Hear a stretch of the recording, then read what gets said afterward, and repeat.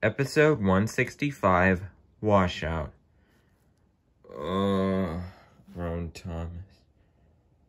I don't feel so well. Don't worry, Thomas. Gator will take you away to have your repairs.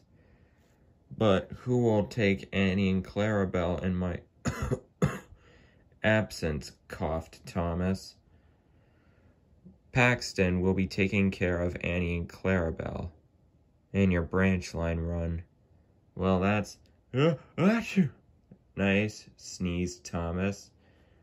All right, Thomas, your sneezing's getting worse. I mean, your cold's getting worse. I should probably take you away to have your repairs now. Indeed, Gator, said Thomas. So Gator puffed away with Thomas in tow. Just after he left, Paxton puffed into the station. Hello, Edward. Oh, hello, Paxton, said Edward. Um, I'm assuming Annie and Clarabel are behind me. Yes, they are, Paxton, said Edward. Paxton buffered up to Annie and Clarabel. Oh, hello, Paxton, said Annie. Indeed, said Annie, said Clarabel. It's good to see you again, Paxton. Indeed, said Paxton. Oh, that must be my guard's whistle. I better get going. Wait, Paxton, said Edward. There's a bridge on the on Thomas's branch line over there. Isn't that the same bridge where Thomas went fishing all those years ago? Yes, but it's... But you need to be careful. I have a feeling it's be, becoming unstable. You could fall off the rails and fall into the water below. Don't worry, Edward. I'll be fine, said Paxton, and he rolled away, leaving a very concerned Edward behind. Oh, I hope Paxton will be all right, said Edward. Who's Paxton? Huh? Oh, who are you? asked Edward as a new diesel rolled into the station. Hello, I'm Sidney. I think. Uh, who are you? Oh, hello, Sidney. I'm Edward. Well, I am new here and I'm not a very good memorable engine. I don't have good memories.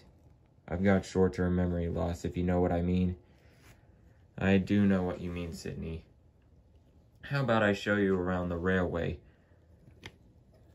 And that diesel you saw leaving was Paxton. Oh, okay. Lead the way, Edward. And so, Edward showed Sidney around the railway.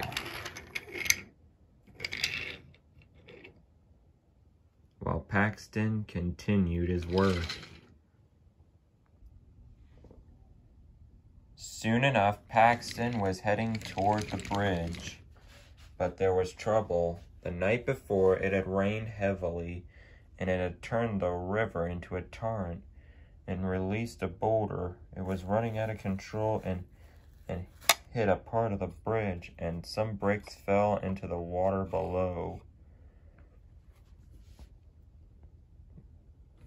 Just as Paxton was heading over the bridge, it started to shake. What's going on? said Paxton. The bridge is going to collapse, said his crew. We need to get to the other side at once. And that's what they did, just as the bridge collapsed. Gee, said Paxton, that was close. I better get Jack, Alfie, and Byron, aka the pack, for this.